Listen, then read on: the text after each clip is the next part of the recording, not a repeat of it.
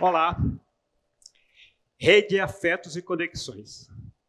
Eu, quando tinha uns oito, nove anos, entrei numa taberna em Belém do Pará e lá estava o Birajara. Quando entrei correndo, o Birajara, que era um adulto, virou e perguntou assim: Menino, o que, é que tu queres da vida? E eu respondi para ele o seguinte: Eu só quero viver a vida.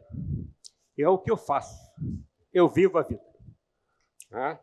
É, logo, eu estava com 9, 10 anos, fui vendedor na feira, vendi brinquedos, vendi saco na feira para verduras, vendi bexigas, aqueles balões a gás, andava 20 quilômetros mais ou menos, todos os domingos para vender aqueles balões. Ah? Depois fui office boy, como a maioria da molecada com 14, 15 anos. Depois saí de Belém, vim para Brasília. Aqui, com meus 16, 17 anos, trabalhei um pouco como serralheiro, ajudando ali na serralheria. Depois fui para o Rio ser faxineiro em banco. Logo depois, eu fui bancário. Imagina ser bancário naquela época, a gente andava de gravata, né? Era o orgulho da família. Deixei de ser faxineiro para ser bancário. Aqui em Brasília. Deixei de ser bancário e fui fazer cinema, cineclube. Fiz um filme, Super 8, sou do tempo do Super 8, tá? sobre a história dos engraxates de Brasília. Depois do Super 8, eu dei aula de educação artística sobre história do cinema. Voltei para Belém e depois de dois anos de trabalhar em bairros de periferia de Belém, já adulto, eu fui ser candidato a vice-prefeito da capital, da capital da Amazônia, Belém do Pará. Como candidato, foi super interessante porque essa cidade que hoje Belém, que vai acolher a COP daqui uns dias, que vai reunir chefes de estados de todo o mundo para discutir a crise climática com pesquisadores, cientistas, ativistas do movimento social, ativistas ambientalistas, para grandes soluções de que a crise climática está trazendo para a maioria da população do, do, planeta, especialmente as pessoas mais pobres e as pessoas idosas. Eu fui candidato nessa cidade. Depois eu comecei a andar Morei em Belo Horizonte, morei no Rio de Janeiro, morei em São Paulo e andei. E por esse currículo de vida, eu fui convidado a trabalhar em um projeto chamado Projeto Sebrae Xingó, numa interseção do sertão brasileiro entre quatro estados: Bahia, Pernambuco, Sergipe e Alagoas.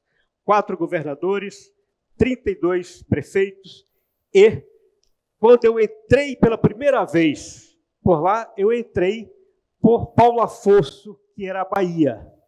E a primeira coisa que eu vi foi a hidrelétrica de Xingó, que é a oitava maior hidrelétrica do país. Ou seja, nós temos uma tecnologia extremamente potente entre nós.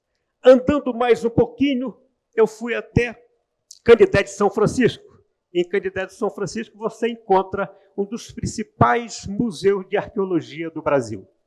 Andando mais um pouquinho, eu fui em Angico, onde houve a emboscada da polícia que matou e degolou Lampião e parte do seu bando.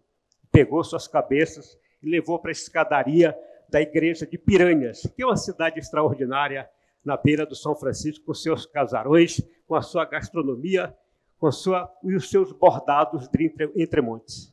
Mas a gente anda mais um pouquinho e vai até Pau Ferro, onde tem um artesanato de pão de açúcar, com seus artistas e seus poetas.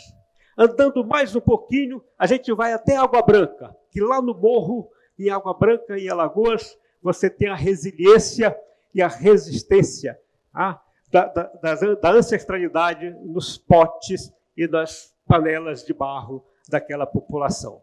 Descendo um pouquinho, a gente passa por Paricônia e vai até Delmiro Gouveia, que é um exemplo de empreendedorismo, que é Delmiro Gouveia, que ainda no século XIX disputava o mercado de linhas e tecido com a Inglaterra. Andando um pouquinho, a gente vai até Jatobá e lá encontra os indígenas pancararus defendendo a sua terra e a sua cultura. Atravessando um pouco, vai até Caraibeira e encontra em Caraibeira os teares para fazer as redes e as mantas.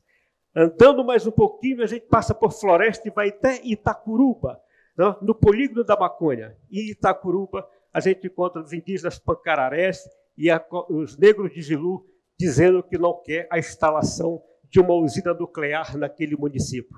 atravessando para a Bahia, vai até Rodelas e encontra com as populações dos Tuxauas.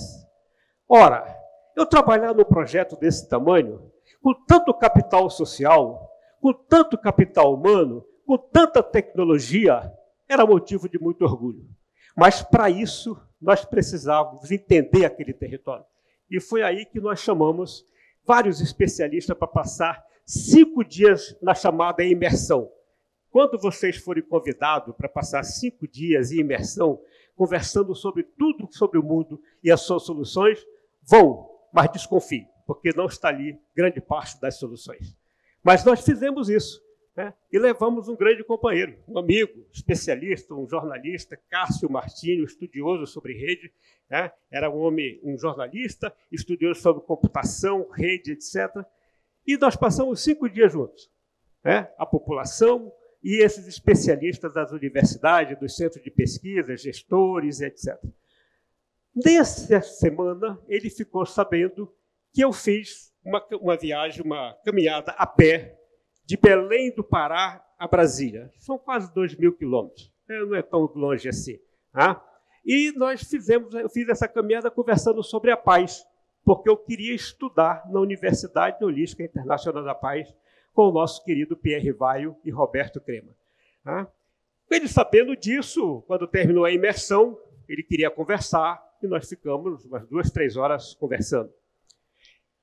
Eu fui contar para ele as dificuldades que eu passei, as humilhações, né? mas a generosidade, mas principalmente o foco. Qual era o meu propósito? Era o que eu queria contar. Qual era o meu propósito de andar dois mil quilômetros conversando sobre a paz com as populações nessas quase 60 cidades por onde eu passei? Então, Cássio, no outro dia, foi embora, pra, voltou para Belo Horizonte, e no outro dia, Larissa, que era minha chefa na época, aliás, eu hoje com 68 anos, tenho consciência de que eu tenho em abundância é chefa e chefe. Isso eu consegui bastante. Ah? Então, Larissa ia para Bogotá conversar ah, com, no seminário internacional sobre pacificação de território. Quem lembra dos anos 90, início dos anos 2000, ah, que Medellín era considerada a cidade mais violenta do planeta. Mas naquele momento estava acontecendo uma transformação. Uma transformação que eu chamo de interação urbana e não intervenção urbana. Que era o MOX. O prefeito de Medellín estava investindo em política pública nas periferias, na estética das periferias, na mobilidade e, claro, enfrentando o crime organizado. Larissa estava lá, mas para que Larissa estivesse lá em Bogotá, ela teve que passar em São Paulo e deixar o seu casal de filhos, Pedro e Mariana, que eu conheci nos primeiros choros. Deixou lá com, seu, com o seu ex-companheiro, Edgar, que é um doutor, economista, pacifista, e todo mundo sabe que os paulistanos deu um feriadinho no final de semana, pega o carro, quatro horas de engarrafamento, vai até o Ubatuba, dá dois mergulhos, mais quatro horas de volta, né? E está tudo certo.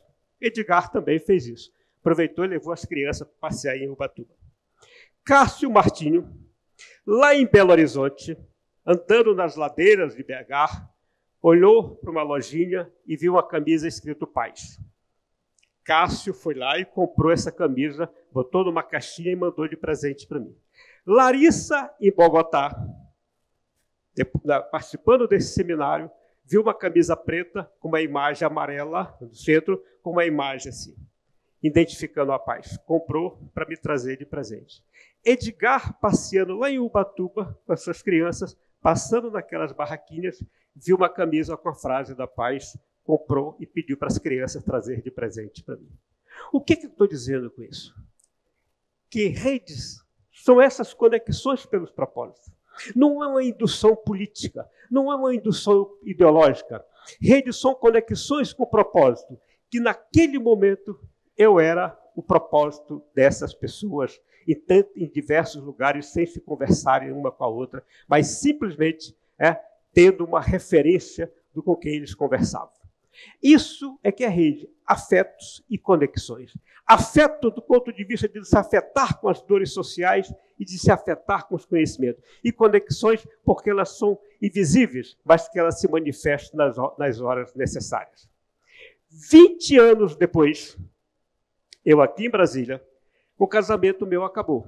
E quem já passou por essa por esse momento sabe que tem suas dores. E eu tive as minhas. Acabou o casamento. A minha primeira acolhida foi meu irmão, Paulo. Depois da acolhida, com o movimento fora do eixo da mídia ninja, que me acolheu de coração.